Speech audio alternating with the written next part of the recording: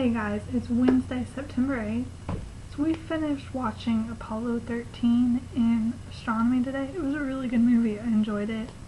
And now we're, we're starting to watch this documentary. I think it's called Failure is Not an Option, I think is what it's called. It's supposed, it's apparently a documentary about like the people at Mission Control, like the real story and stuff. I don't know.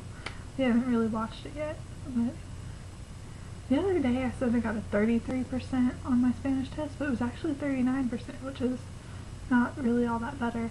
But we got our grades today, and I have a B minus in that class, which is good because I have to get above a C. If it drops by like 4%, then I have a C, so that would be really bad. So hopefully I can get that grade up. We finished a movie in U.S. history today too. I can't remember what Andersonville. That's the name of it. It's Andersonville. Um, that was I don't know. It was I kind of found that movie boring. Cause I war movie and I don't really enjoy war movies because I don't like blood and stuff like that. It was okay, I guess. Um, tomorrow in U.S. history, my group has to teach a chapter, chapter eight. So hopefully that goes well. One of the kids in my group is in in school so um, we're having to do his stuff too, so hopefully that doesn't screw everything up. So apparently the Deathly Hallows trailer is going to be out by the end of the month. I can't remember what day they said, or I don't think it's confirmed, but they're, I don't know. But I'm excited for that, that is going to be awesome.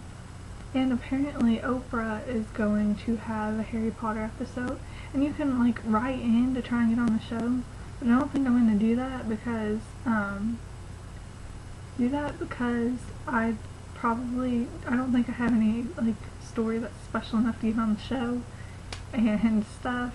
So, and I'd probably get incredibly shy and it wouldn't be that good to watch anyway, so. But I think that's cool, and I can't wait for that episode to air. It'll be awesome. Also, the Eclipse release date came out today, and it's on my brother's birthday, which is pretty cool, December 4th so I'm excited for that. And there are going to be two audio commentaries. There's one with Rob and Kristen and one with Stephenie. I don't know if that's confirmed either, but that's what they're saying, which I'm really excited for because I love the audio co audio commentaries because I love learning how movies are made and stuff. I, I think that would be an awesome job to be involved with movies and stuff. I used to want to be an actress, and I still like acting, but I'm so shy that I don't think that would go so well. I love learning how movies are made and stuff. Yeah, all the special features sound cool. And also, Eclipse is coming about back out in theaters for Bella's birthday on the 10th, I think. I don't know how long it's going to stay in theaters. Bella's birthday is on Monday, so I don't know.